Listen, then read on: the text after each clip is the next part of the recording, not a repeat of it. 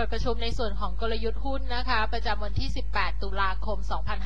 2554 นะคะ แนวโน้ม SET Index ของไทยเราในวันนี้เนี่ยมองว่าน่าจะผันผวนในเชิงอ่อนตัวลงนะคะ หลังจากเมื่อวานนี้ดีดตัวขึ้นได้ค่อนข้างดีนะคะ แต่ว่า factor ที่แวดล้อมตลาดในช่วงนี้เนี่ยต้องมองว่า มีความไม่แน่นอนอยู่ค่อนข้างสูงนะคะ ก็คงต้องติดตามเป็นรายวันทั้งปัจจัยภายนอกแล้วก็ภายในนะคะ โดยภายนอกเนี่ยยังคงมุ่งเน้นเรื่องของวิกฤตหนี้ของยุโรปนะคะ ก็มีข่าวเข้ามาอย่างต่อเนื่องนะคะ ก็บางวันก็จะเป็นข่าวในเชิงบวก บางวันก็เป็นในเชิงลบนะคะ อย่างเช่นเมื่อคืนนี้เนี่ยมีคอมเมนต์จากทางรัฐมนตรีว่าการกระทรวงการคลังของเยอรมนีนะคะคอมเมนต์ออกมาก็ทำให้นักลงทุนนักลงทุนเนี่ยมีความวิตกกังวลมากขึ้นต่อการแก้แก้ไขวิกฤตหนี้ยุโรปนะคะ เพราะว่า กล่าวว่า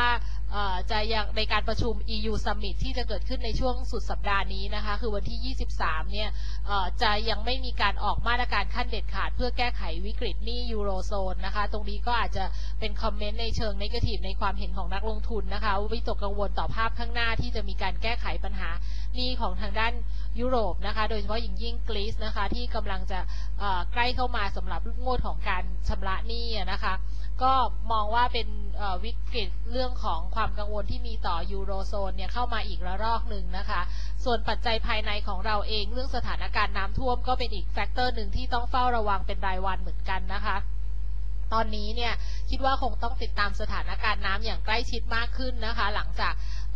ระดับน้ำเนี่ยมีค่อนข้างมาก แล้วก็ได้เข้าไปท่วมในส่วนของนิคมอุตสาหกรรมในแต่ละแห่ง ขึ้นมาเป็นลำดับนะคะ ก็ล่าสุดที่ที่ท่วมไปก็คือที่นวนครนะคะ ตอนนี้ก็คงต้องเฝ้าระวังในเขตอื่นๆต่อไปนะคะ รวมไปถึงกรุงเทพมหานครชั้นในนะคะ ที่เดิมเคยมีความมั่นใจมากจากทางรัฐบาลว่าว่า ที่จะเข้ามาท่วมนะคะ ในช่วงนี้ก็อาจจะต้องกลับมาเฝ้าระวัง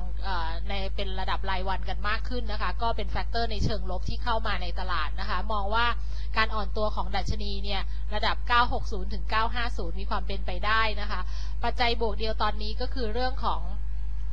แรงซื้อของต่างชาตินะคะ ที่ดูเหมือนปริมาณการซื้อสุทธิในตลาดหุ้นไทยยังอยู่ในระดับที่ค่อนข้างดีนะคะ เมื่อวานซื้อสุทธิไป 2.4 พันล้านบาทนะคะ รวมไปถึงการ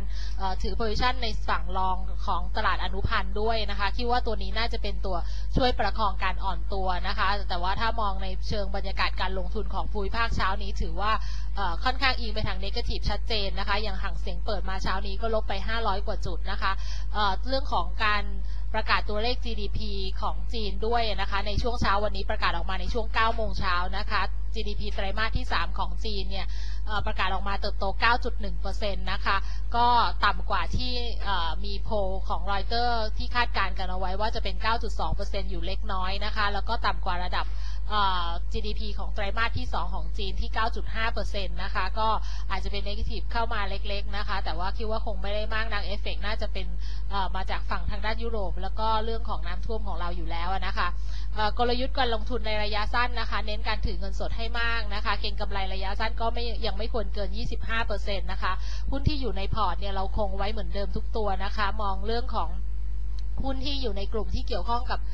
ตัวที่ได้รับประโยชน์จากเรื่องของสถานการณ์น้ำท่วมนะคะ อย่างตัวเอ่อปูนกลางนะคะ ตัว SCCC นะคะ แล้วก็